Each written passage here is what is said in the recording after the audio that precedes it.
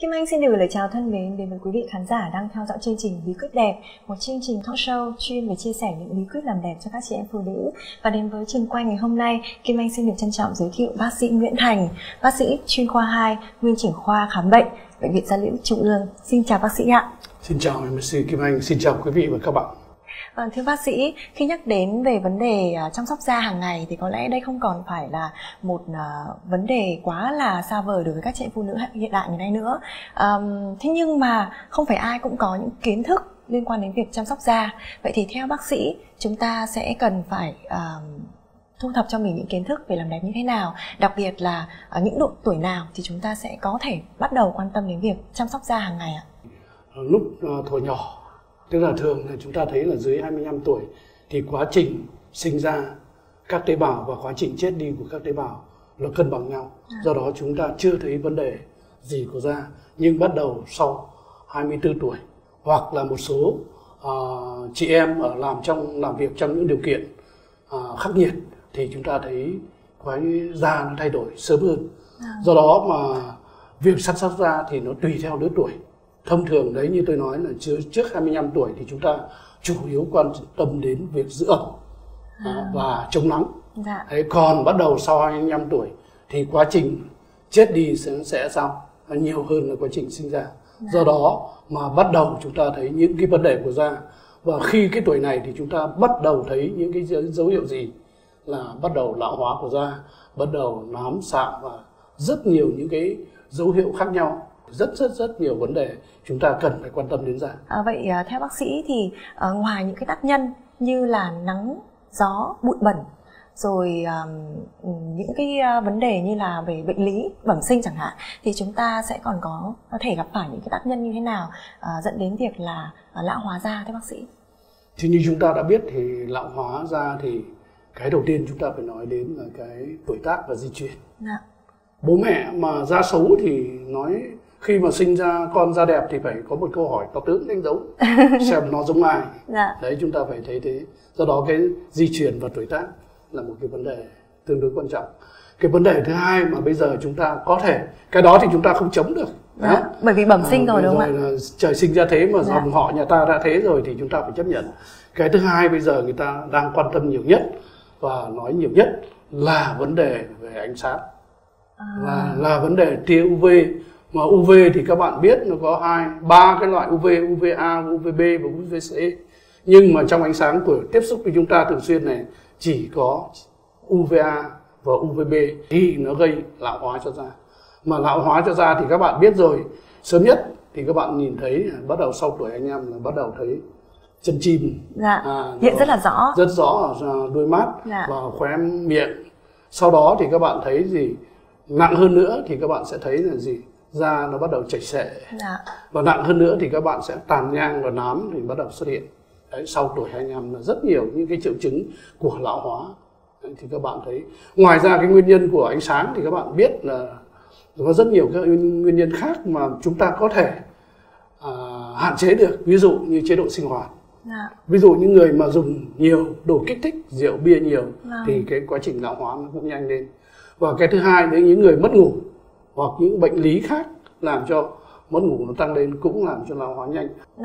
Ờ, quả nhiên là khi mà khi mà chúng ta nhắc đến những dòng sản phẩm thiên về tự nhiên như hiện nay thì sẽ có rất nhiều những dòng sản, sản phẩm khác nhau thiên nhiên nhưng chúng ta cũng cần phải biết rõ là những sản phẩm đó xuất xứ như thế nào rồi thành phần ra sao công dụng như thế nào có sự phù hợp với làn da của chúng ta hay không có đúng không ạ bác sĩ? Vâng.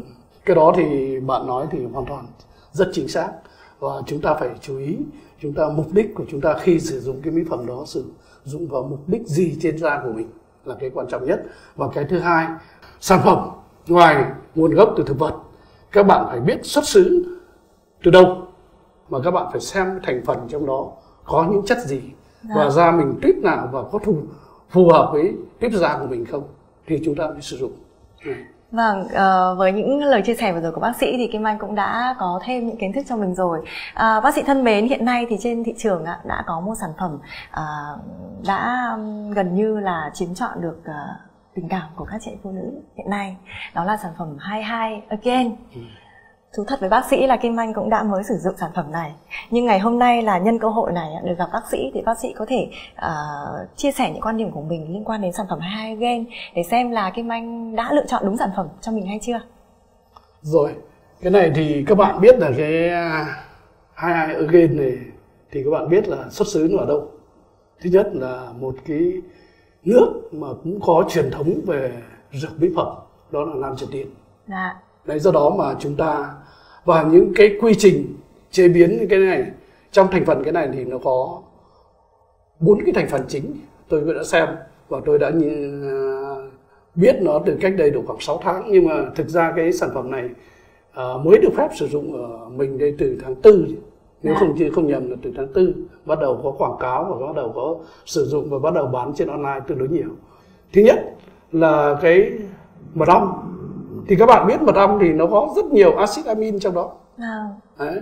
do đó nó làm cho da được nuôi dưỡng rất tốt mật ong lại còn có cả mật ong có vitamin A, vitamin A, vitamin B1 nói chung dạ. mật ong thì nó tổ hợp của rất nhiều vitamin trong đó. Trong đó thì là một số chất chống oxy hóa, một số chất thì nuôi dưỡng da. Đấy. Và thêm nữa là cái thứ hai nữa là cái cây jojoba, à. dầu jojoba. Dầu jojoba thì các bạn biết dầu jojoba thì xuất xứ chính của nó là Mexico và Bắc Mỹ. Đấy.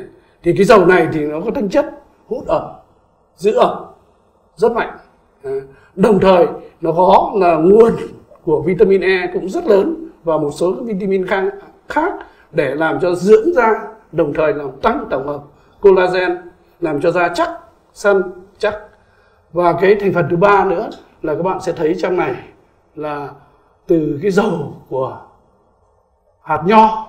Mà hạt nho này là hạt nho mà chúng tôi xem cũng tương đối kỹ bởi vì phải nghiên cứu tương đối kỹ. Hạt nho nếu mà hạt nho đỏ của pháp thì lại vô cùng quý. Đấy, thì các bạn thấy là cái hạt nho này thì nó làm tăng tổng hợp collagen làm chống các chất oxy hóa trong. Dạ. quá trình hoạt động của cơ thể. Đấy à, làm chất chống oxy hóa. Và một cái thành phần nữa trong này là có một số cái um, cái cái acid amin à, tổng hợp thành chuỗi đấy gọi là uh, nó gọi là collagen ấy, thì các dạ. bạn thấy thì cái collagen này thì nó làm cho da nó săn chắc và làm cho da là gì nó bền và nó, được khỏe, nó sáng, hơn. khỏe và sáng hơn dạ. thì các bạn thấy trong cái này nó có bốn cái thành phần chính ở đấy mà tác dụng tôi thấy là trên lý thuyết mà nói thì thấy cái sản phẩm này là một cái sản phẩm tương đối tổng hợp của tất cả à, những cái tinh túy của thiên nhiên. Và đồng thời cái jojoba thì các bạn thấy cái jojoba thì nó lại thiên cho một cái nữa là đối hợp với rất nhiều da của Việt Nam là da dầu. Mà Việt Nam thì các bạn biết 6 đến 70 phần trăm là các bạn có tuyếp da dầu. À. Đấy mà cây jojoba này thì rất thích hợp với cái da dầu và sau khi mà nghe bác sĩ à, Nguyễn Thành chia sẻ xong thì Kim Anh đã cảm thấy là phần nào tin tưởng vào sự lựa chọn của mình với sản phẩm hai gen rồi. À, thực sự là Kim Anh à, bật mí chút xíu với bác sĩ Nguyễn Thành đấy là Kim Anh cũng mới sử dụng sản phẩm gần đây thôi. Tuy nhiên là với những thành phần công dụng rất là à, lớn như thế thì sau khi mà Kim Anh sử dụng một thời gian ngắn thì đã thấy được là những cái vấn đề liên quan đến việc là những cái nốt tàn nhang ấy, Kim Anh nhận thấy là nó cũng đã mờ đi một phần nào đó thì à, quả thực là với à, một lọ rất là nhỏ nhắn xinh xắn như thế này thì cũng đã đem lại những cái hiệu quả rất là đáng ờ, bất ngờ cho chị em phụ nữ rồi phải không bác sĩ? Cái này cũng phải chia sẻ thêm với các bạn này. Khi sử dụng những cái sản phẩm này thì chúng tôi thấy là là các bạn thường là lao luôn vào cái sản phẩm sử dụng luôn.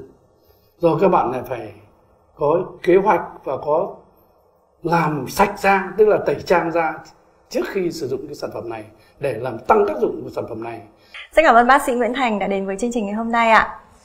Các chị em thân mến, như vậy là với một sản phẩm bỏ túi nho nhỏ đó là hai hai again, chúng ta sẽ có được một làn da trắng hồng rạng rỡ, đặc biệt đấy là đẹp sâu từ bên trong. Và với một sản phẩm hai again này thôi, chúng ta sẽ không mất quá nhiều thời gian để chăm sóc da hàng ngày nữa. Và hy vọng rằng là chúng ta sẽ gặp gỡ uh, nhau trong những chương trình khác uh, của bí quyết làm đẹp nha. Cảm ơn bác sĩ Nguyễn Thành đã đến với chương trình hôm nay ạ. Xin chào quý vị và các bạn. Hướng dẫn mua hàng từ video các bạn có nhu cầu đặt mua hãy bấm vào link đặt hàng bên dưới video bằng cách sau. Nếu xem trên điện thoại, hãy bấm vào tiêu đề của video. Khi đó màn hình sẽ hiển thị ra thông tin về sản phẩm, bấm vào link mua hàng như hình, điện thoại của bạn sẽ mở ra website đặt mua. Nếu ở màn hình máy tính thì link sẽ nhìn thấy ngay bên dưới video, các bạn chỉ việc bấm vào link và màn hình sẽ ra trang web công ty để đặt mua.